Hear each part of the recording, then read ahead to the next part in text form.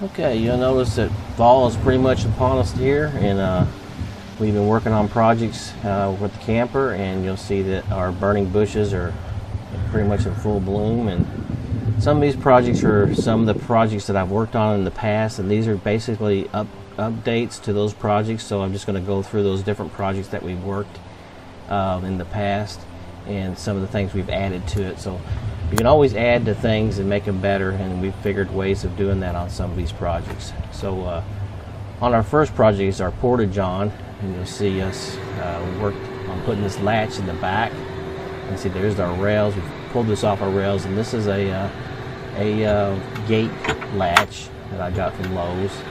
Um, put a little mounting things right here on the side, on the on the back here, and it pins in through the top that works out pretty good and uh, you'll see here this is the uh, latch we got from Lowe's.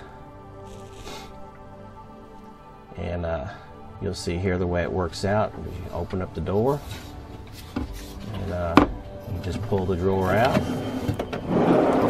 It's a little bit harder to reach in behind here but you got to reach in and grab this latch.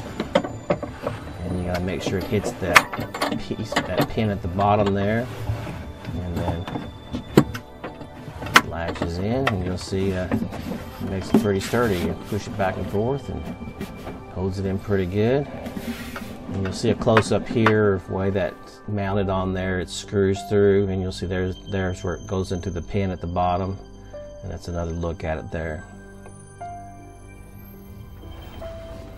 Pretty much you just unpin it, put it in storage mode and slide it back in. Close your door.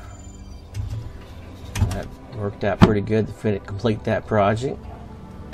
And then you'll see also we added some shelving in here. Um, we had some extra space in, but on the top here where this slides in. And it's just a plastic piece and we cut that to uh, get into it a little bit easier. You'll see we're going to probably add one on this side, but we just want to see how this works out first.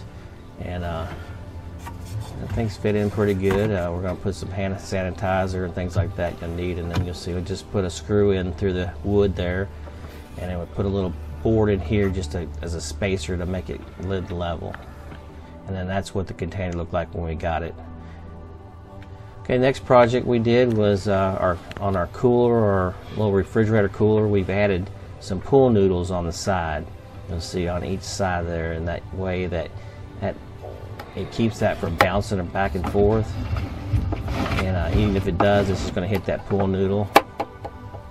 And uh, you'll see the way we did that here. We just basically took two notches out of that and put two screws into the wood on each side, right there and there.